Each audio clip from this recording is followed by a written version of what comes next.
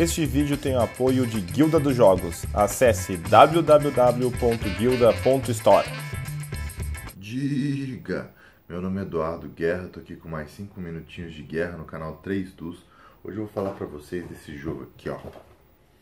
O Root, tá? Ele acabou de chegar no Brasil aí pela Meeple BR, já tá fazendo um sucesso danado.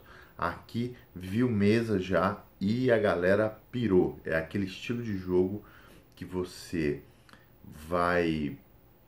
É, você joga e você só quer falar sobre aquilo, você fica pensando, estratégia, até você sonha ali, né? E, e ele tem uma característica muito marcante que é o fato dele ser extremamente assimétrico.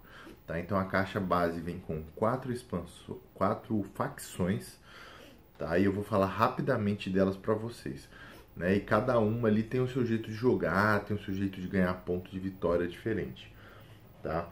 Então, ó, é, é uma floresta, né? Então você tem um tabuleiro ali de floresta e você tem os marqueses ali que são esses gatinhos aqui, ó, que é quem está atualmente governando a, a floresta. Então ele começa ocupando o tabuleiro quase inteiro, tá? E aí é, ele, é, ele vai fazendo construções né, que permitem a ele é, ganhar recursos e usar esse recurso para construir mais coisa. Tá? Então ele tem essa pegada de começar no tabuleiro inteiro, só que ele acaba sendo o primeiro alvo da galera que precisa conquistar território e vai é para cima dele, tá? E depois, depois a gente tem aqui, ó, a dinastia das rapinas, são os passarinhos aqui, ó. Olha aqui o passarinho. Tá? Eles são os antigos donos da floresta que estão querendo recuperar a glória dele, tá?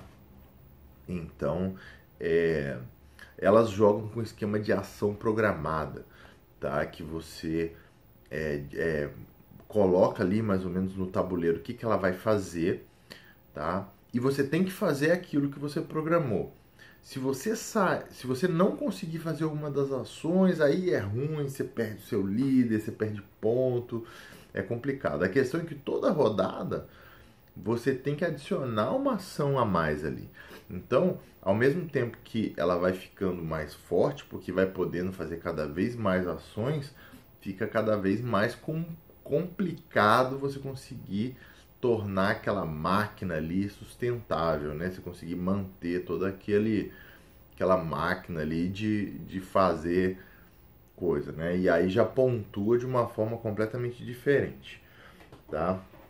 E aí a gente tem aqui, ó, a Aliança da Floresta, que são aqui, ó, eu falo que são os ratinhos aqui, né? Parece um pãozinho de forma, ó.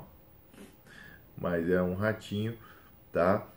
Que é uma galera que nem começa no tabuleiro, tá? Então é aquele pessoal que se revoltou ali com, é, é, com o governo ali, que não está satisfeito, né? E aí ele começa, é, é, é, ele tem uma mecânica que ele vai, o pessoal fala que é insurgência, né?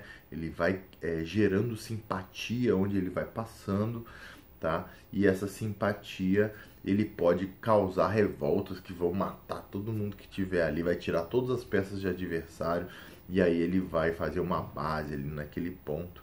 E aí ele ganha ponto com essas simpatias aí que ele vai espalhando pelo tabuleiro, né? Dizem que essa é a facção mais forte. Realmente, o primeiro jogo que a gente jogou aqui, a gente jogou com essas três facções, ficou bem equilibrado, mas acabou que os ratinhos levaram a melhor no final. Se bem que os passarinhos só não levaram por causa de um pequeno errinho ali de quem estava jogando com eles. E por fim, vou mostrar aqui o Meeple. Esse aqui é da expansão, né? Tá? É... Que é o malandro. Olha aqui. Glu glu. Não é esse malandro não, é esse malandro aqui, ó. Não é o Sérgio Malandro, é esse cara aqui. Tá? O malandro, ele é interessante que nesse caso o jogador ele tem um, uma peça só no tabuleiro. Enquanto os gatinhos, ó, tem esse saquinho aqui, ó, cheio de peças, tá? O malandro tem um só, tá? E aí o que, que ele faz? Ele, ele anda pelo tabuleiro, dá carta para os jogadores, ele pode atacar os jogadores e se tornar hostil.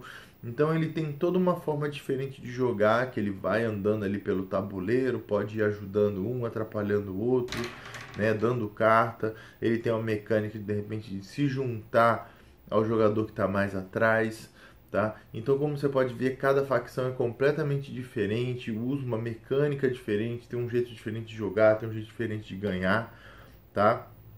E ainda tem mais duas facções que vêm na expansão que também são completamente diferentes, tá? Uma são os comerciantes e outros são os cultistas ali que vão estar tá tentando converter as pessoas e trazer para o lado deles.